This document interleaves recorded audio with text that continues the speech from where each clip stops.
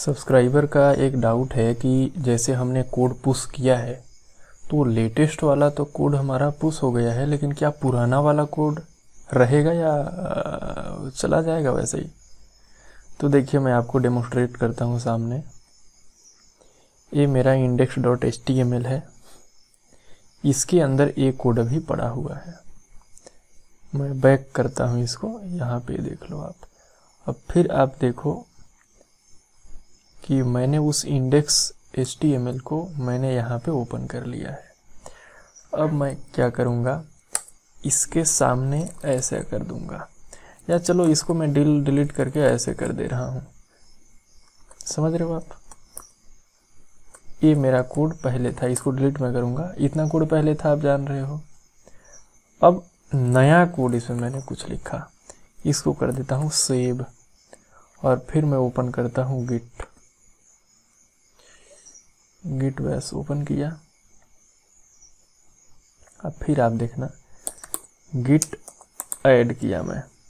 Add के बाद dot लगा के गिट ऐड हो गया। फिर मैं करता हूँ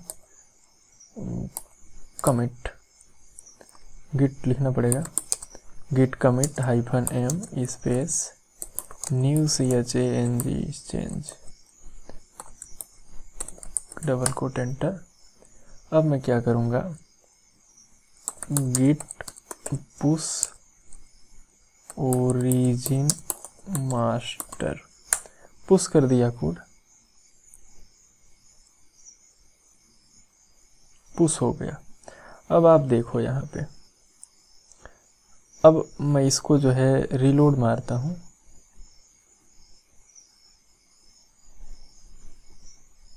तो देखो आप इंडेक्स पे अब मैं जाता हूँ। तो हमारा नया कोड आया हुआ है। अगर यहाँ तक का कोड हमें सिर्फ़ चाहिए, ये वाला नहीं चाहिए, सिर्फ़ इतना हमें कोड चाहिए तो ये पुराना कोड होगा। लेकिन टोटल इतना कोड है मतलब हमारे पास नया कोड है मतलब पुराना डिलीट हो गया हमारा। अब जैसे हिस्ट्री में आप जाओ ना थोड़ा तो ये देखो। न्यू चेंजेस, इस पर मैं क्लिक कर देता हूँ। तो यहाँ देखो पता चल रहा है कि ये पुराना वाला इतना कोड है हिस्ट्री में दिखा रहा है। और जो है, ये चीज़ें हैं। माइनस प्लस यहाँ से छोड़िए, मैं बैक करता हूँ, और बैक करता हूँ। और फिर और बैक करता हूँ मैं, आ जाता हूँ यहाँ पे। अब न्यू चेंजेस पे आप क्लिक करो कमिट मैसेजेस पे। तो अब आप यहाँ देखो हिस्ट्री दिखा रहा है कुछ। हेलो है फिर ऐसा फिर ऐसा। ये हिस्ट्री आपके सामने आया हुआ है।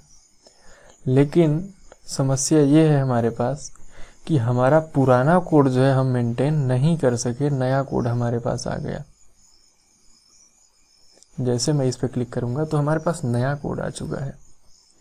पुराना कोड हमारा गायब हो गया। तो अब जैसे आपका क्वेश्चन ये होगा कि पुराना कोड और नया कोड मेरे को दोनों मेंटेन करके रखना है। पुराना कोड हमारा वर्जन वन था और नया कोड हमारा वर्जन टू है। तो दोनों को मेंटेन हम कर सकते हैं, लेकिन कैसे करेंगे तो देखो यहाँ पे। वर्जन को मेंटेन करने के लिए टैग का इस्तेमाल हम करते हैं।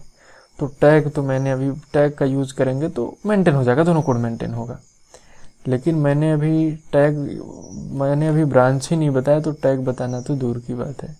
तो थोड़ा इंतज़ार करिए, तीन चार वीडियो के बाद टैग हम पढ़ेंगे जो है तो उसमें हम सीखेंगे कि पुराना कोड को भी मेंटेन करना है और नया कोड को भी मेंटेन करना है तो कैसे मेंटेन करेंगे। अभी के लिए इतना ही, मिलते हैं फिर कभी।